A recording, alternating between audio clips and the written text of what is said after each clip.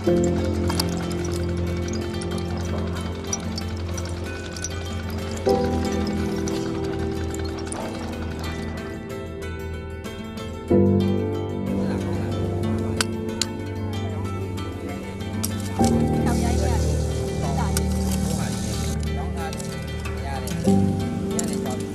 ကတော့အစတုန်းကတော့ဈေးရောင်းပေါ့နော်ဈေးရောင်းရင်းနဲ့ဆိုပြီးတော့မှတက်ခဲ့တာ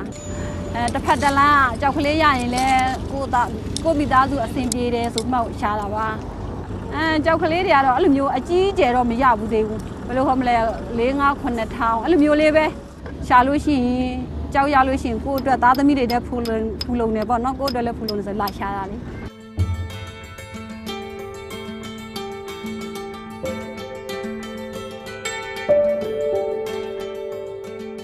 အမြင့်ကြီးတွေမှာပေါ့သူတို့ရှာကြတယ်။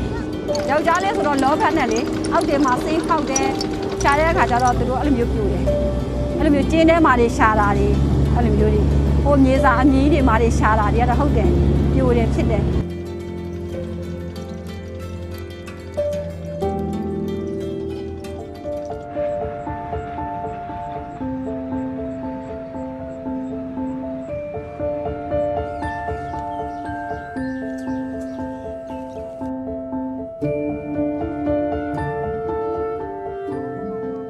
ကိုကကြောက်ဆိုင်နဲ့ဟိုကသူများကြီးပြောရလဲကြာအာတုံဆွဲရင်ဘတော့လှုပ်လဲတအားကျူးစားကြောက်ဆိုင်နဲ့တအားကောင်းတယ်ဆိုမှသူများပြောတာအရာနဲ့ရှောက်လှုပ်ကြည့်ရကြ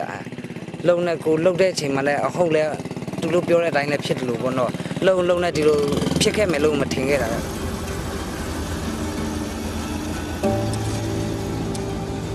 ကြောက်ရှာတော့တော့ကြကြောက်ခဲပြုတ်ကြတဲ့ခါကျရင်လေခြေထောက်တွေထိခိုင်းတာအဲ့ဒါအဲ့လိုရှိ အဖေနဲ့အမေတစ်ခုခုဖြစ်သွားမှာပါ